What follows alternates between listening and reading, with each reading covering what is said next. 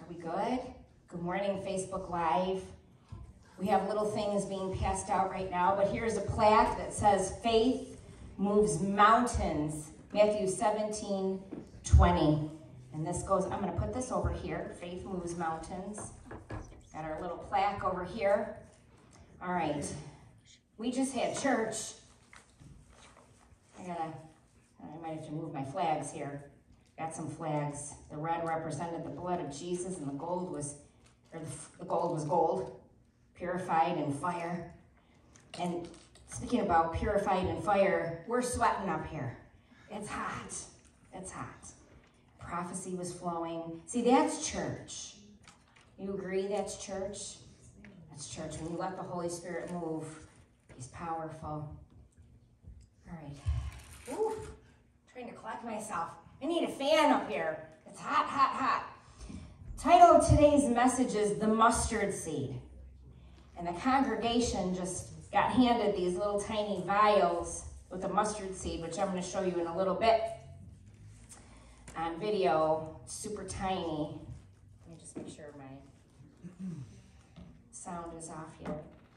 All right, so Luke 18 8, Jesus said, red words of Jesus, I tell you that he will avenge them speedily. Nevertheless, when the Son of Man comes, will he really find faith on the earth? Oof, not what you thought I was going to start with, is it? Nope. This scripture is part of a deeper story. There was an unjust judge who didn't fear God. Do we know anyone in the land who isn't fearing God? Multitudes. Are not fearing God and did not regard any man. There was a persistent widow who he was just going after and after this unfair and unjust judge. And he didn't want to avenge her, but he also didn't want her to keep coming back to him because he she troubled him, the Bible says. In the Amplified Version, it says that this widow troubled him. So basically, she was a pain in the neck to this unfair, unjust judge. And he didn't want her to weary him. Because you know when someone keeps coming after you, anyone who's a parent and has children and the toddlers go after you, mom, mom, mom, mom, mom, they're pulling on you, pulling on you, they weary you after a while. And you're like, you know what? And you give them the cookie before dinner because you just want to shut them up. so basically, this unfair judge wanted to shut up the widow woman. But in verse 6, it says, the word says, and this is the word, the Bible is the word, then the Lord said, Hear what the unjust judge said. And shall God not avenge his own elect who cry out day and night to him, though he bears long with them? I tell you that he will avenge them speedily. Nevertheless, when the Son of Man comes, will he really find faith on earth? Will he find this kind of persistent faith on earth? That's what he's wondering. That's what Jesus was saying. And we see here that this widow woman was persistent and relentless in her faith. She was persistent and relentless. And the Lord wants us to be that way too. He wants us to be persistent. He wants us to be relentless with our faith. And that seems like, you know, some of us are tired. How many of you are tired of fighting? We've been battling for a long, long time. And if you're in battle for a long time, I've never been in the military, but I would imagine you'd physically and emotionally and mentally become very drained yeah. and physically tired. And you become weary. And it's the same thing, you know, when they say people lost their battle or they're battling with cancer, that's no lie. Cancer is a battle. And what do we see when we see people with cancer? They get weary after a while. They get worn out because it's a battle. Well, this is what we have to do with our faith. We have to be persistent. And will he really find faith on earth? You know, I always wondered, what would it be like? What's going to be going on in the earth that Jesus would say this. When he returns, will he find faith? Why? I always, always like, why, Lord? What's it going to look like? Like right now. Like right now. Like right now. He's not talking to the unsaved people who don't know the Lord. Sin or sin. They don't know the Lord. Jesus is talking to the church. Will he find faith? So you got to know why would he ask that? When the Son of Man comes back, will he find faith on this earth? Why? What's how bad is it going to be? Have we lost our focus? Have we lost our direction? Do we even know what we're fighting for anymore? You know, during praise and worship, I think we were getting what the fire of the Lord was putting on us. We were humbling ourselves, we were repenting for the wickedness in this land. You know, it's not, like I said, you know, when people don't know the Lord, they don't know the Lord. My sister always taught sinners sin. It's what they do. They sin, they don't know any better. But when you see it in the body of Christ, will he find faith in this dark and ugly world? Will he find it? And you could sit there and you could feel that this is kind of discouraging a little bit because will he find faith? Well, here's the thing if faith were easy, we wouldn't need to have it. So it's got to be something that we've got to work at. We got to put something forth because if it were easy and we didn't need it, we wouldn't have to have it. We have to have faith because things are going to happen. You don't need faith when everything is going smoothly and beautiful, do you? You're not crying out, Father. But when you're hitting rock bottom and you're hitting low mm-hmm. spots and you're hitting depressed spots and you're hitting anxiety spots and you're hitting broke spots and you're hitting desperate spots, that's when you need the faith. So you don't need the faith when everything's going really well. Do you? No. Will he find faith? So take our society for example. Would he find faith on earth if he were to return right now? If Jesus were to return right now, would he find faith or would he find a lack of faith? And I'm talking to the body of Christ. This is actually a body of Christ message today. Will he find faith? Now, this widow woman kept going to the judge and demanding justice and legal protection from her adversary. She wanted legal protection from her adversary. Okay, so this judge wouldn't right away. And the Bible says for a time, he wouldn't. But because this widow continued to bother him, he gave her justice and legal protection. The judge describes her as being an intolerable annoyance. Now, here's the thing. The Bible says to us, Will not our just God defend and avenge his elect, his chosen ones, who cry out to him day and night? Will he delay in providing justice on their behalf? Jesus says, Jesus. Can you say Jesus? Because I just want to make sure we're all worshiping the same person here. Jesus says, I tell you that he will defend and avenge them quickly. He might? No, he will defend and avenge them quickly. Now, here's where our message comes in. Can you guys take that in? I want you to take that in. Jesus himself said, God will defend and avenge. God will defend you and he will he will avenge you. God was the first Avenger. For those who like the, I love the Avengers. I really do. But God was the first one. He'll avenge you. And you know what? And He'll defend you. You know, sometimes we wonder what's going on in this ugly world. But God. See, we forget who He is. I serve a very powerful God. I'm sorry. I'm like, this praise and worship was weepy. It was hot and fiery. It was emotional today. But God is emotional.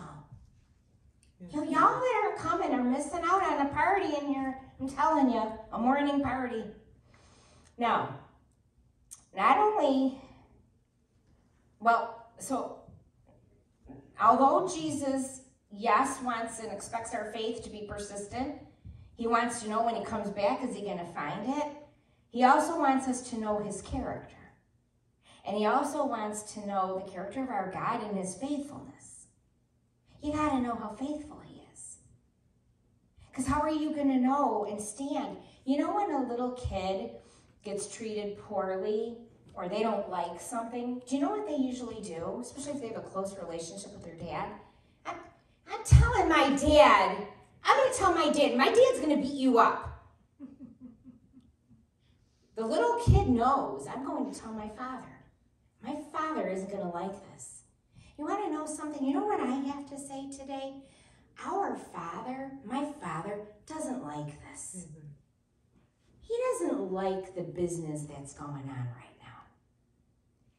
It's ugly to him, and it's ungodly. He doesn't like it. So, what is he going to do? And his kids are down here crying out, Father, do you see? He says, I see.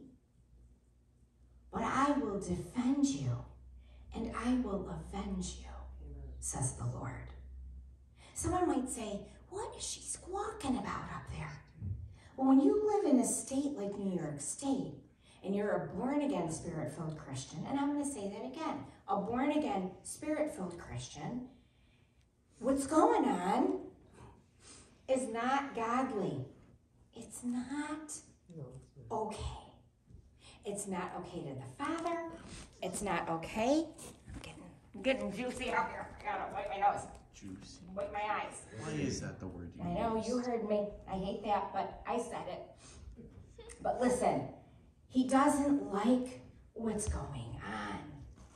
And I see people, I again, you know, even people in the world know it's getting dark and ugly. Yes, They see it. Know people in New York City, it's not just New York City, especially in New York City, but in all cities, people are afraid here. They're afraid here. Why? Because police forces have been defunded. You know, I was telling a story last night. We were at a family fire, a fall fire. It was fun. And I was sharing a story about our summer, and our summer was very disturbing on so many levels. Can't even, I don't even want to get into all the, use. my congregation knows the disturbing stuff. It's just, it was just disturbing on a lot of ends. But we also were violated. Our home was violated. Not, they didn't get into our home, but they tried, or whatever they were doing. They were trying to scare us at the very least. It's very hard in the middle of the night to have people banging on your house. And what was the effect? You know, when our family members were saying, that must have been so scary. So we're showing them the picture. And, um, and our family members were saying, that must have been scary. Did you call the police? Yes, we called the police. Well, how long did it take them to get there? I don't know, about five or six minutes. And a friend of ours said, well, that must have, but it probably felt a lot longer. Yeah, it felt a lot longer. And you start getting to the point where you're like, we got to protect ourselves. So in the state of New York, you want to protect yourself, but that right is, they're attempting to try to take that right away too. And American people, we have a beautiful country, but we cannot let the darkness and the evil invade our territory. Amen. We just can't. And so God will defend and he will avenge us.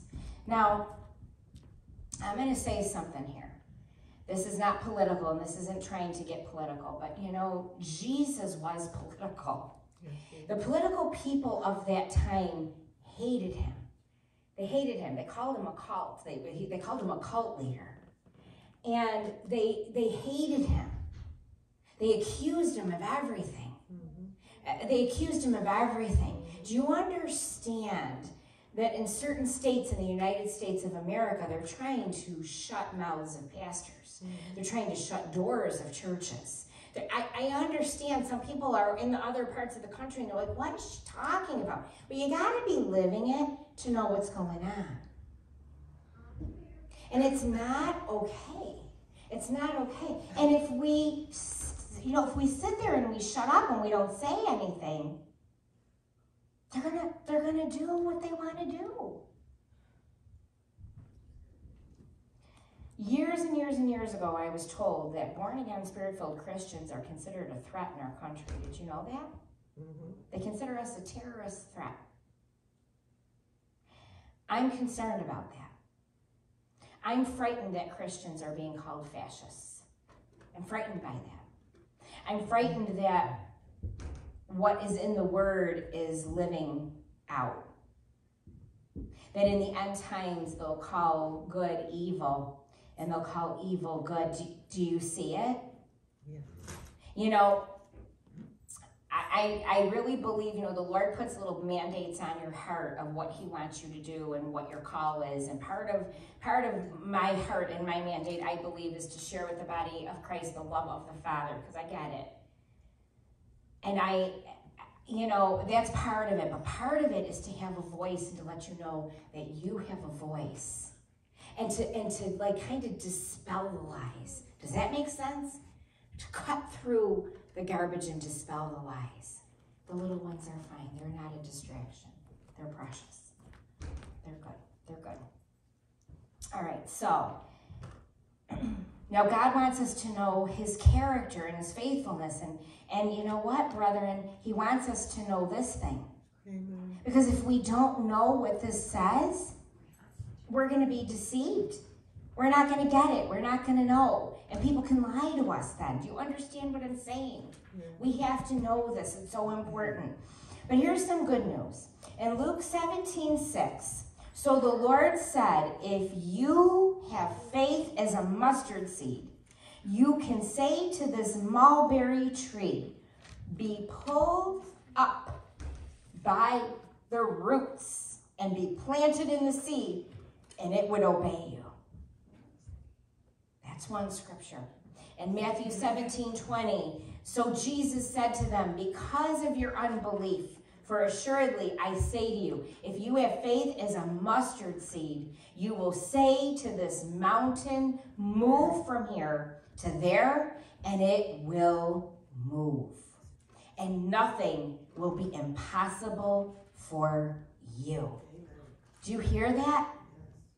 Now, what I had my handsome husband Lou pass out for the congregation, they got a little vial because Ann hopped on it and ordered it quickly. Little tiny vial. They each got one. I'm going to hold it up for the camera. Can you see it on there, Cole? Hmm. And there's a tiny little, I'm trying to shake it a little. There's a little mustard seed in there. It's very tiny. So I want y'all to look at that mustard seed. You get to keep these little vials, by the way. And every time you feel like you don't have faith enough, I want you to look.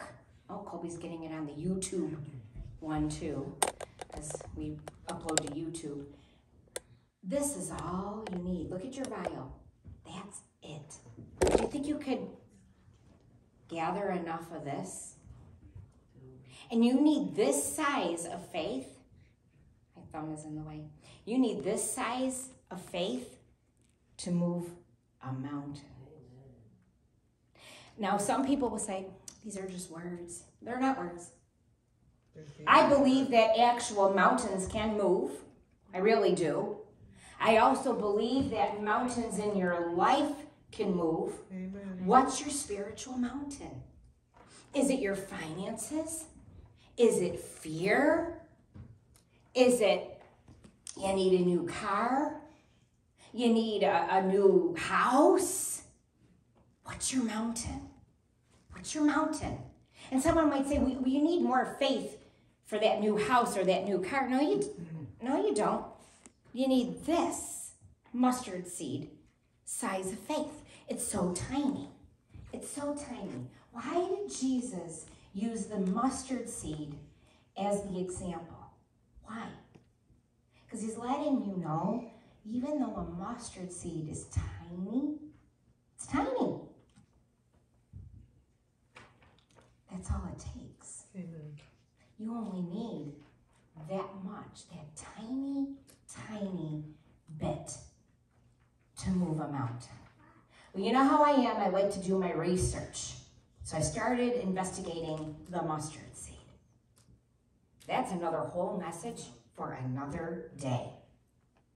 Because that little tiny mustard seed can turn into a 10 foot to a 30 foot tree. No wonder he used the mustard seed. Again, that's a message for another day. It turns into something great, doesn't it? So, I'm going to continue on. Doesn't take much faith. He wants it persistent. He wants it there, but he's letting you know, hey, that's all you need. It's so tiny, so tiny amount of faith. Little, little, little. Now in Matthew 13, 31 through 32, I'm going to ask you to open up to Matthew 13. Matthew 13.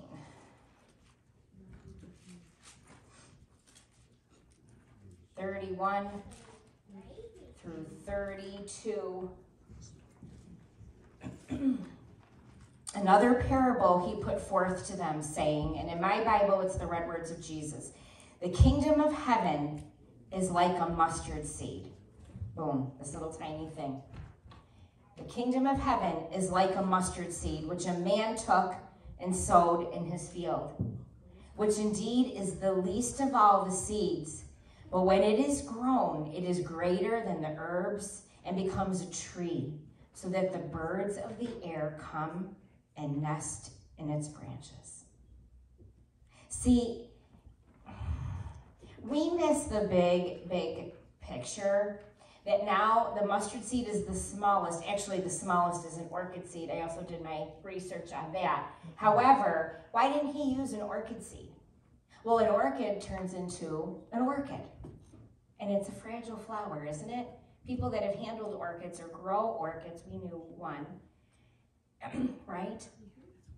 They were fragile. They're fragile flowers. He, do you notice how Jesus didn't use an example of a seed that produces a fragile, beautiful flower? Amen. He used the seed that produces a mighty tree. Amen. They also grow very well in Iran, where they originated, in case you want to know. Okay. Sorry, those are just little tiny bits of information for you. Okay, so the mustard seed is small, but it, re- it reaps a large harvest. And when Jesus was using this as an example, he was actually talking about world evangelism because he was like a broken, small example. They didn't expect him to look and be who he was. He was just the carpenter's son, right? But it was the seed that was planted. His death and his resurrection was the seed that was planted for world evangelism, for a world harvest. This is our mandate. Our mandate is to win the lost, to build the kingdom of heaven, to build our God's kingdom of heaven. I want to populate heaven with as many people as I can. And then if I can't populate heaven with that many people, because I'm only one small woman in Niagara Falls, but I'm mighty, then I'm going to sow into ministries of evangelism where they reap bountiful harvests. Amen. Do you see what I'm saying? Don't get discouraged. And you know what, Niagara Falls, we may be small, but we're mighty. And we've had a lot of souls saved in this church. A lot. And it's really important to the Father. That's what's important to Him. We can't keep our eyes off of what's important to our Father. Now, the kingdom of heaven, he knew would be, it will be, and it is significant. Significant to him. The mustard seed has destined greatness. Do you see what I'm saying? Mhm. But we only need faith that tiny. You know, there are times where you're praying for something. You, you have something heavy on your heart. You're praying for a loved one. You're praying for someone who's sick. You're praying for something that you don't think will ever come. And this is the size of the faith. Come on, y'all. Can you do this? You got this. You got this. It's tiny. You can do it. You can do this. You can have faith this size. You can do it. It's not too hard. It's not too hard for you. Do you see how easy he made it for us? What a loving, loving Father. He made it that simple. He made it that simple. Now in Mark 4:31, it says, "It is like a mustard seed which when it is sown on the ground is smaller than all the seeds on earth." But in verse 32 it says, "But when it is sown, it grows up and becomes greater than all the herbs and shoots out large branches, large branches, so that the birds of the air may nest under its shade." Do you notice how the gospels will always play off of each other? If you hear one thing in one gospel, you'll find it in another gospel because they all walked with Jesus. Okay? And then there was the apostle Paul who did not walk with Jesus. He was really persecuting the early church. But his faith was, you know, I, I want to share this with you, and this isn't in my notes, but sometimes, you know, sometimes people, when they get saved, it's a radical salvation. I call them radical salvations because they're kind of more like Saul of Tarsus. Saul was Paul.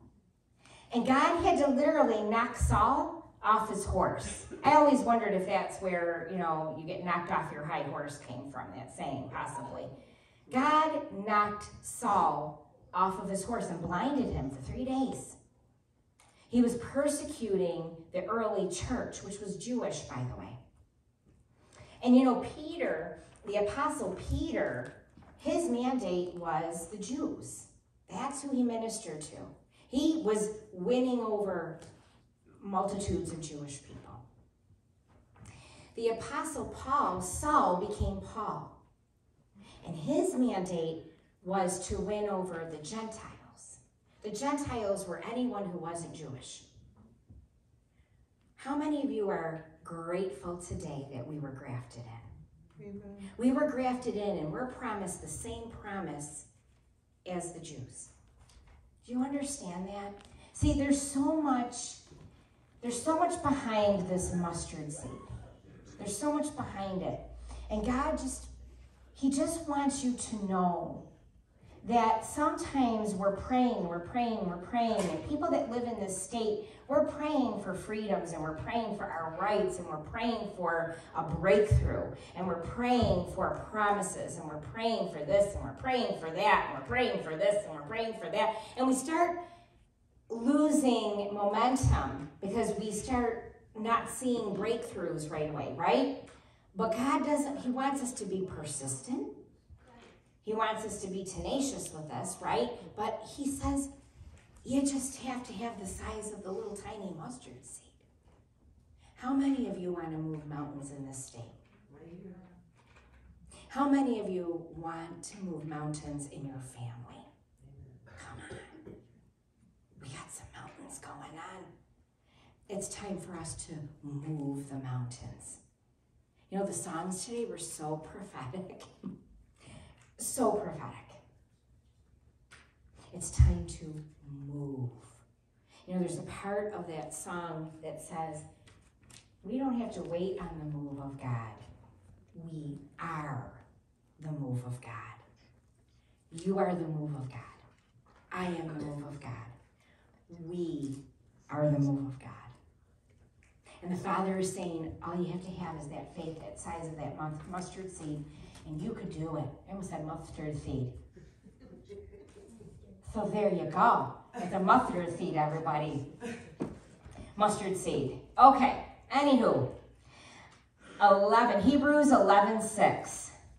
But without faith, it is impossible to please him. Uh-oh. So here comes another thing. We see in Hebrews 11, 6, but without faith, it is impossible to please him. Who? God. It's impossible to please God. For he who comes to God must believe that he is. You got to believe that he is who he says he is. And he can do what he says he can do. And he already did what he said he did. And that he is a rewarder of those who diligently seek him. He'll reward you. You got to believe it. You got to have faith. Because if you don't have faith, it's impossible to please him. Well, how much faith do I have to have, Lord? This tiny amount. That's it. That's it. Can you please him?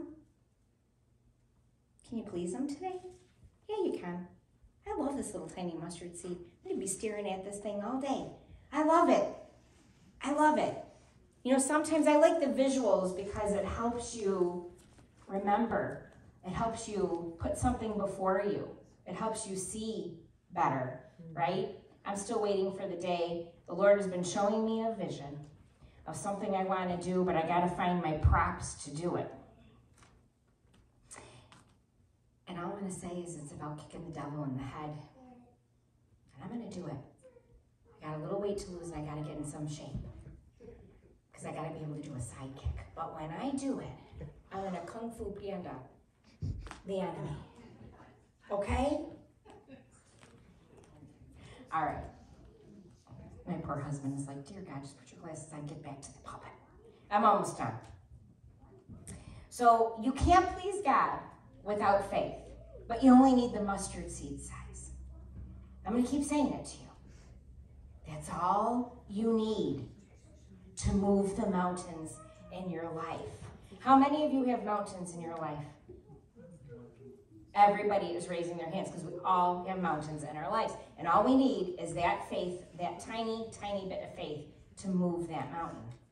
Well, you know what Jesus tells us that you got to speak to it. You got to speak to the mountain with your little mustard seed size of faith. Can you do that? You know, I believe too, he used something so small because you know, when you first come to the Lord, you're a babe in the Lord, right? There's some Christianese for you. And you have to be bottle fed. But did you ever see the babies pray sometimes? They're they get it. They read it and they're like, yeah! And they're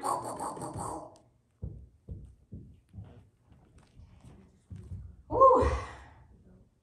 He didn't make us have to do a lot. No, he didn't.